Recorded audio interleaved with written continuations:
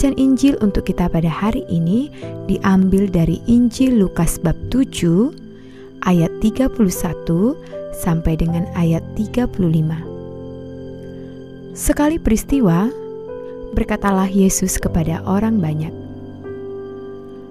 dengan apakah akan keumpamakan orang-orang dari angkatan ini, dan dengan apakah mereka itu sama? Mereka itu seumpama anak-anak yang duduk di pasar dan yang saling menyerukan. Kami meniup seruling bagimu, tetapi kamu tidak menari. Kami menyanyikan kidung duka, tetapi kamu tidak menangis.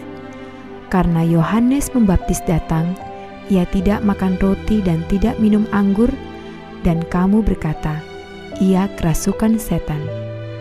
Kemudian Anak Manusia datang, ia makan dan minum, dan kamu berkata, "Lihatlah, ia seorang pelahap dan peminum, sahabat pemungut cukai dan orang berdosa."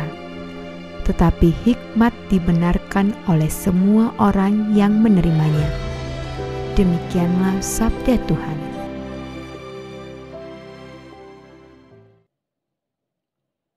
Saudara-saudariku yang terkasih dalam Tuhan kita Yesus Kristus.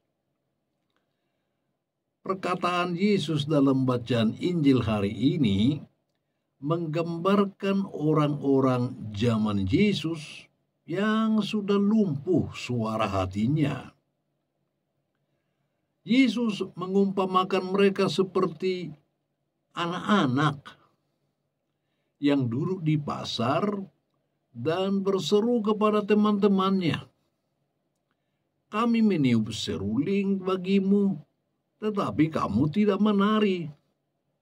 Kami menyanyikan kidung duka, tetapi kamu tidak menangis. Orang-orang pada zaman Yesus itu mempunyai mata, tetapi tidak melihat mempunyai telinga tetapi tidak mau mendengar. Mereka berhadapan dengan kebenaran, kebaikan, dan keselamatan, tetapi mereka tidak mampu menangkapnya, tidak terbuka, tidak menerima, tidak tanggap. Mereka cuma mau jadi penonton saja, pasif tidak mau mengambil sikap. Mereka takut berkomitmen menerima Yohanes Pembaptis dan Yesus. Yesus menghadapi orang-orang yang tidak mau menerima pewartaan Yohanes Pembaptis maupun pewartaan dirinya sendiri.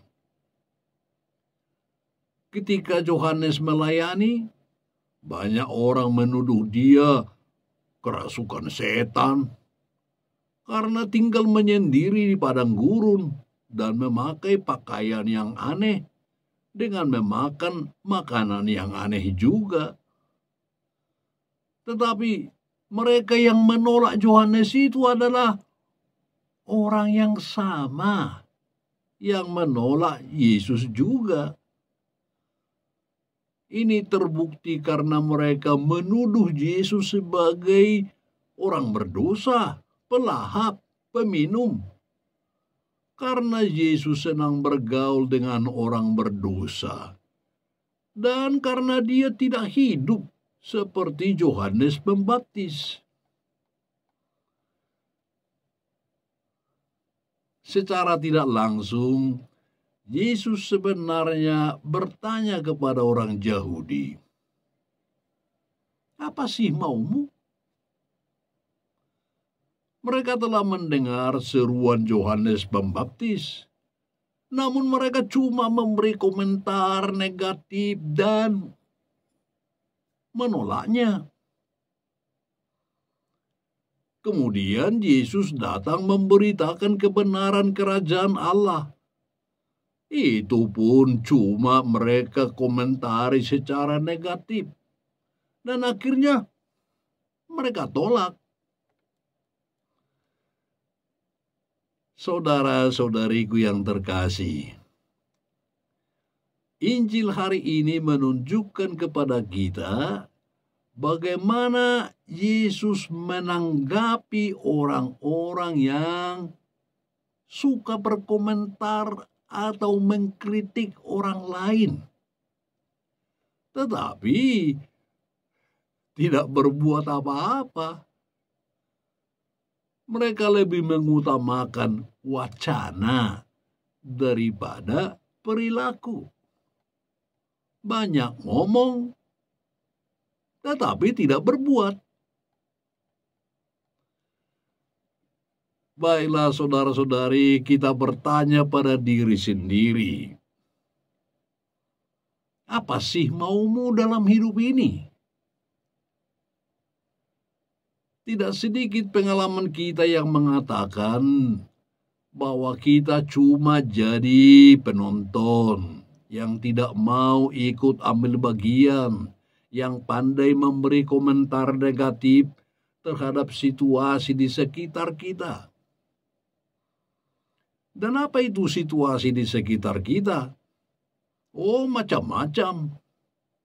Bisa jadi itu adalah situasi keluarga kita, situasi lingkungan atau paroki kita, atau gereja kita situasi tempat kita kerja, situasi kota, bahkan negara kita sendiri. Di negara kita, banyak orang yang kelihatannya seperti orang yang peduli, yang mengharapkan situasi lebih baik. Banyak komentarnya di media sosial macam-macam kritikannya dalam acara debat politik di televisi. Tetapi orang-orang itu cuma jadi pengamat, pemberi kritik. Namun tidak ada sumbangan positif untuk kebaikan negara ini. Begitu juga dalam gereja kita ada orang yang lebih mengutamakan wacana daripada perilaku yang bergerak untuk ikut ambil bagian. Orang yang demikian itu sebenarnya kurang atau tidak pernah menghayati imannya, melainkan hanya ngomong-ngomong atau diskusi saja. Dan dengan demikian, tidak berhikmat. Saudara-saudari, tidak jarang dalam kehidupan ini kita memandang dan menilai banyak hal hanya berdasarkan kemauan diri kita sendiri. Sementara apa yang kita mau dan apa yang ingin kita sampaikan itu syarat dengan kepentingan-kepentingan tertentu. Orang beriman bukanlah orang-orang manja yang dididik untuk melepaskan diri dari salib.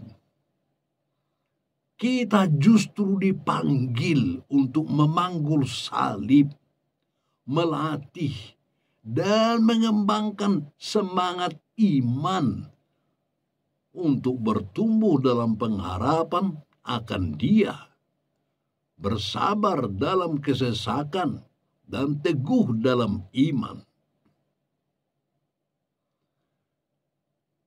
Injil hari ini mengingatkan kita bahwa hikmat yang diberikan Allah kepada kita dibenarkan oleh perbuatan kita.